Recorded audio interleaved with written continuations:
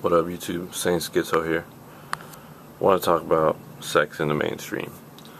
Uh, sex in the mainstream has now become very popular. Okay, not that I'm particularly uh, offended by it. I'm not offended by it, but what bothers me is what this means for our youth. What it means as a cultural value. You understand? Because this stuff is a cultural value, as cultural meaning.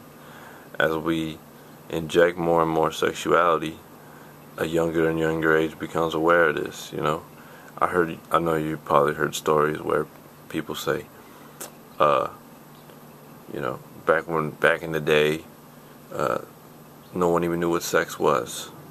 You know, because it was just that not talked about, not known. But you see, the television has changed all that.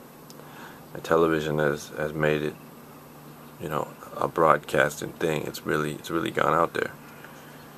So my my particular thing is this is is they want to get us away from family values. They want no family construction. And if you see this, they always show on television breakups, fights, problems. You know, they never see people working it out and staying, holding their ground and doing the right thing. You understand? Now, they don't do that. They don't show you good positive reinforcements. They don't show you how to live. You understand? They want to break you up. They want to single you out. They want to make you. Uh, they want to tear your family values, your family traditions, your your family uh, orientations, and they want to stick this stuff in your head and say this is what life is, and they give you life on television. You understand? Their version of life. And don't tell me that's the version of life. That's their version. You understand? So they're trying to destroy families like that. They just Ron Paul was talking about this. Very genius, man. They destroy the family values, the core. You know, of, of, you know, being free. Each family's an individual.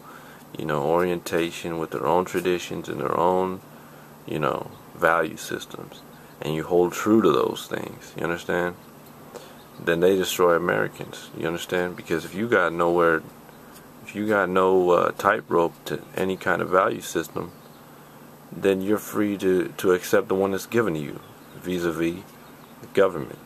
The government and the government propaganda and the government broadcasting news stations and the government uh, sanctioned television shows and the government sanction comedy shows and all the the list goes on and on. So family is the issue. Is staying true to you and your family. And each family should be individual you understand? Like have its own belief systems and all that you know? You don't really see that today you know? Everything's kind of they want to split us all up and make it one giant thing that we all conform to. That's not really the deal. That's not really that's variety is the spice of life. You understand? So what we need is variety. We need people to be free and not be afraid to be free. And hold true to their things and actually use that that freedom to do something great in their lives. Freedom today has come to mean the stupidest thing ever it, it means uh, I'm gonna be you know I'm a I'm a dumbass. It's a free country. I can do what I want. That's not that's not what freedom was intended for. Freedom was intended to be used for to say radical things, radical uh, you know for measures that were you know real real uh, you know it, so you could say what you wanted to say without you know someone fucking hitting you over the head. You understand? Like you could say British Parliament was a fucking joke and it was oppression on a mass scale. You could say that without getting hurt. You understand? That's what it was used for. Not to say, I was drinking last week, man, I was so faded. You know, just stupid, man. You understand? Stupid. Use your freedom wisely. Don't don't be pushing freedom on that. But anyways, use freedom to the max. Use it, use it correctly, and and shit will really come your way.